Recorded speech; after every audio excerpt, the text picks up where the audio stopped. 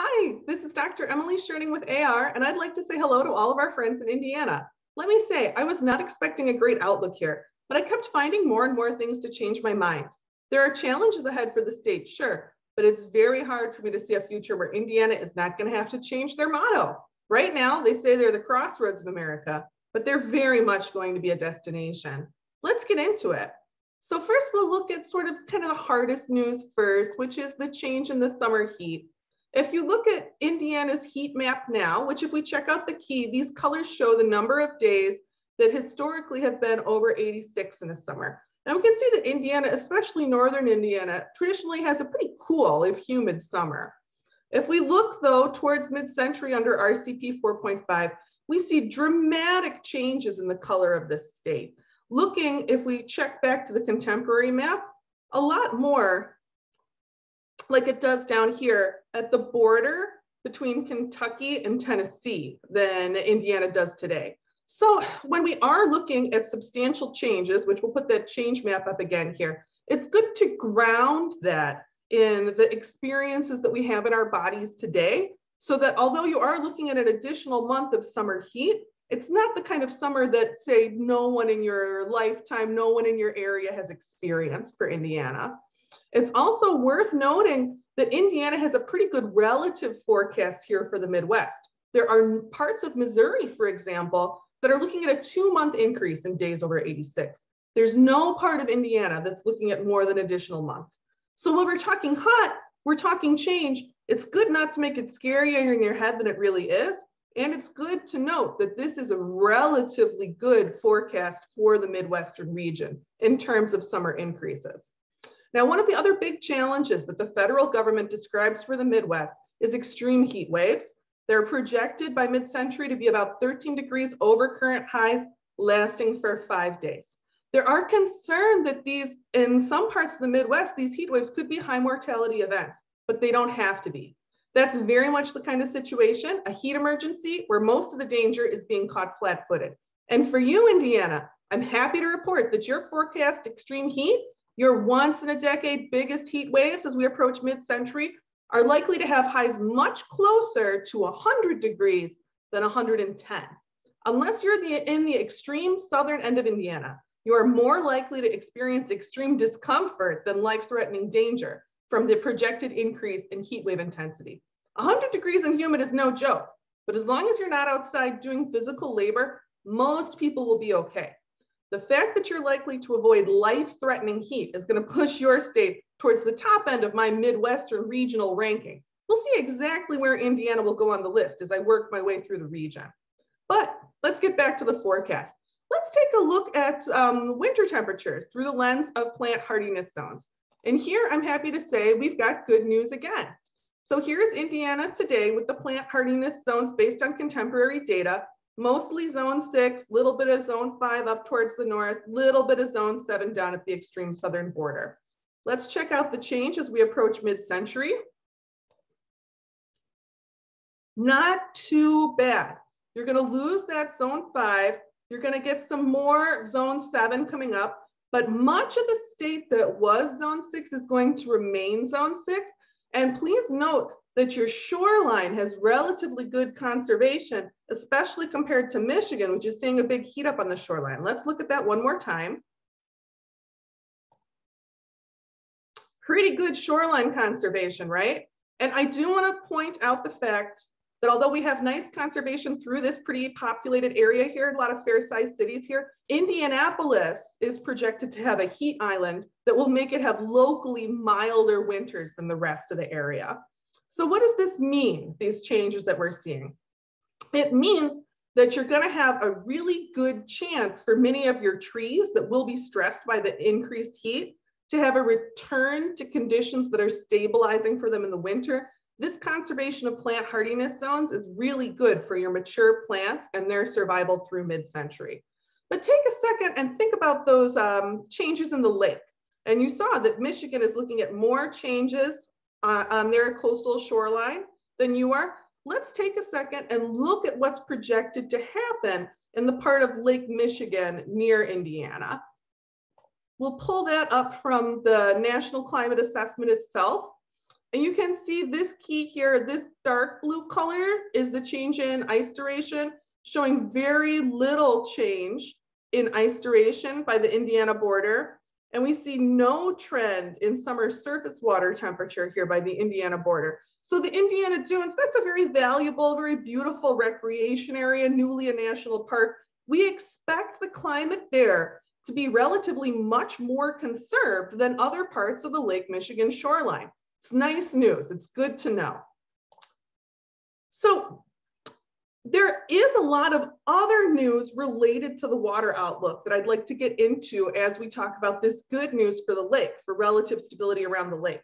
So your water outlook has a few challenges, but it's not that you aren't going to have water. Let me say your utility companies, both water and power, are actually pretty on top of your game. They're using good climate data to increase capacity by mid-century in all of your utilities.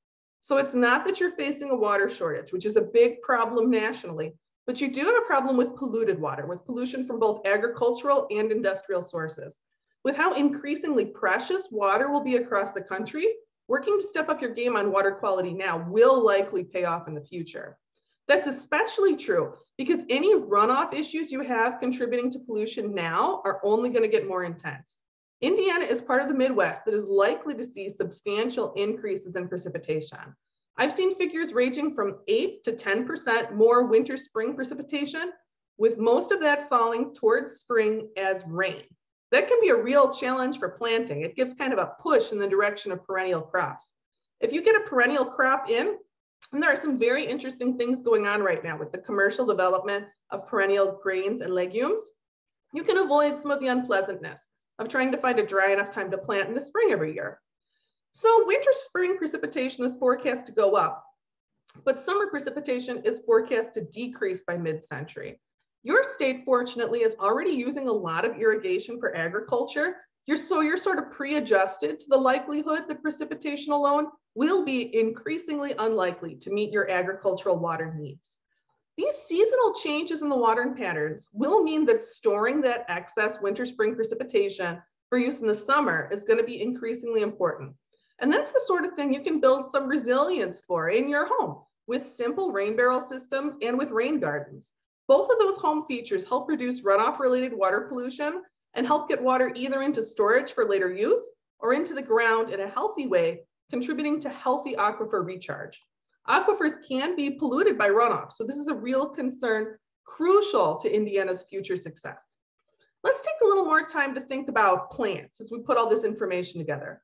That conservation of the winter cold in much of the state is going to be good for your trees. The extra heat in the summer will stress them out, but if they've got that stable period to hold on to, that should help prevent a lot of the potential for mass tree death. At mid-century, the projected vapor pressure deficit for plants, which is kind of a measure of how much water plants will be losing through their leaves to heat, is a 20% increase in the eastern part of the state and a 30% increase in the western half of the state. In that increased heat, it makes sense that plants would lose more water, that they would need more water. But like we've explored, the water outlook for Indiana, while not without challenges, is pretty solid for the state. If you're looking for resilient plants for your place in Indiana, I wanna take another opportunity to share this breakdown from the Forest Service. Here we go, and we're gonna navigate through this together. So this is the National Tree Atlas, and where you're gonna wanna go to look at uh, plants for your state, I would go to this regional summaries. And if you check out the breakdown for the Midwest, you can get a PDF to pop up. At the bottom here, it'll show you a bunch of new species that are ready to move into the Midwest by mid-century. And if you dig into it, a lot of these are really species that should be moved into Southern and Central Indiana by mid-century. And if you happen to be in an urban area, I'm gonna show you really quick, it's very likely that you will be able to find your particular region. Yep, a lot of your larger population centers in Indiana have a PDF that you'll be able to download and it will tell you exactly what tree species the Forest Service recommends introducing to your homes and cities. It's pretty cool. I was looking at some of the maps all stacked together while I was getting ready to make this forecast. And I'd like to highlight the area around and north of Terre Haute, which is a nice mixed forest and agricultural area right now. I would look at that area as having particularly good potential. If you look at the heat map, you'll be able to see an outline of the area. There's a zone around Terre Haute that's already kind of warm in the summer.